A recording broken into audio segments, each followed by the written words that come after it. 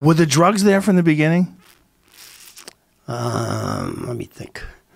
Ah, pretty much, yeah, yeah, pretty much. I mean, it's like in the old, it's like in the old days, you know, this, you know, the story about your mother says, don't, you know, if somebody offers you drugs, don't take them. I said, well, they don't offer you; you have to buy them. You know? but initially, you didn't have to buy them. That was the thing. Everybody, everybody was doing it. You know, it's like smoking. When I was growing up as a kid, ninety-five percent of people smoked, and why? Because everybody ever smoked. You know, I stopped smoking in the year 2000. Mike Clark and I had a bet, and none of us we haven't had a cigarette since. So apparently, I wasn't addicted, but everybody smoked. So the same thing in those days.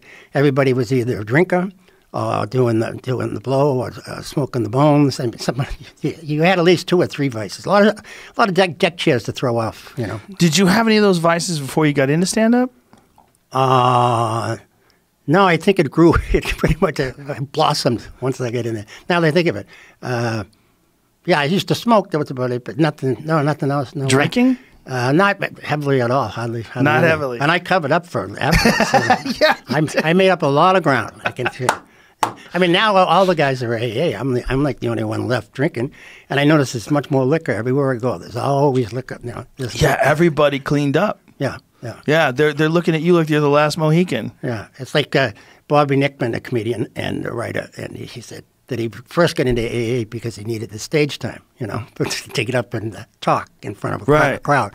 But he was one of the first guys that kind of cleaned up, and then this guy, and then this guy, and, and there's very few now. Well, a lot of guys came from AA, and that's how they got their start. You remember Dave Fitzgerald? Well, sure. Funny guy. Yeah, yeah. He got into comedy from Alcoholics Anonymous Yeah. because he would go up on stage and tell these crazy old drinking stories, Sure. and people would laugh, and then he polished those stories up, Sure. made them tighter, and then started doing stand up. Yeah. Um, but uh, it it uh, when you in the we'll say in the mid '80s, the early '80s, if if you weren't a drinker, you were the exception to the rule. Again, you know? Wow. So you weren't a drinker before. not really. You just started hanging out with these guys, and was I'm it not just- blaming any of them on it. No, hey, look, I'm not even. But was it right away? Like, just you just wa- you walked into this lion's den of people doing drugs. Who was the fucking who's patient zero? Like who? Because there was wasn't that many of you, right? Well, I think that I think that it uh, it came to a culmination at, at the Ding Ho because we basically uh, ran and owned the place, and we'd stay there until. I I can remember walking on there many times, going, "Oh, beautiful! It's not even light out yet." You know, it'd be- it'd be six thirty in the morning, you know? Right. But we were serving drinks, and and half the people there'd be 10, 12 comedians sitting around, and and four or five other guys, and the other guys are cops. They're in there drinking with us too. So Wow. we weren't going to get busted or anything. I mean, when Kenny Rogerson first got there, he walked in the door there. He got there, I don't know how, but he got there around two in the morning. And there's six or seven of us, you know, sm- they were either smoking joints, doing doing some lines, drinking, and we're up on the stage playing cards, you know, for money. And he goes, he goes, what is this place? You know?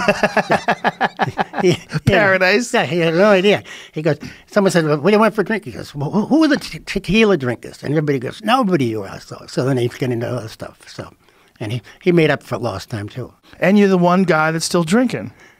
Uh, that I'm aware of, yeah. But, uh, I don't know. But I don't really look around that much. But uh, there How- aren't many out there. Did you ever think about quitting?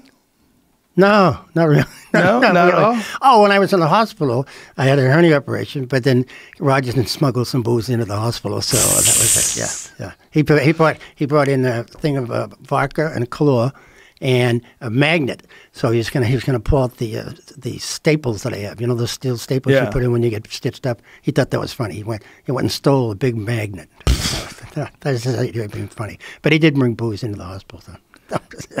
How long were you in the hospital for? for Oh, that? just you know, whatever, four or five days, whatever. so you almost quit for four or five days. Oh yeah, almost. Yeah, yeah, Almost. Yeah.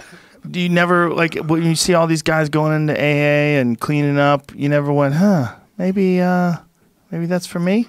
No, no, never, never did. No. I mean, so we stopped the blow and all that stuff, Right. you know. But no, I never, I never was much of a smoker, smoker of the grass. But uh, the drinking, no, that's uh, pretty consistent with that. you find something you like, stick with it. you know. When did you stop the blow?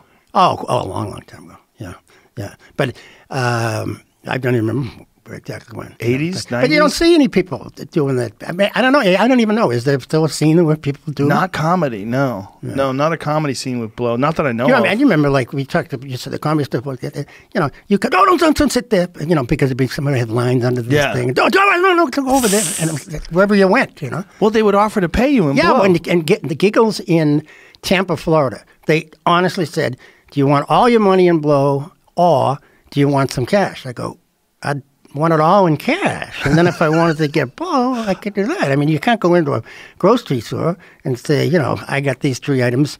Is this line big enough? You know, that, that, that doesn't work.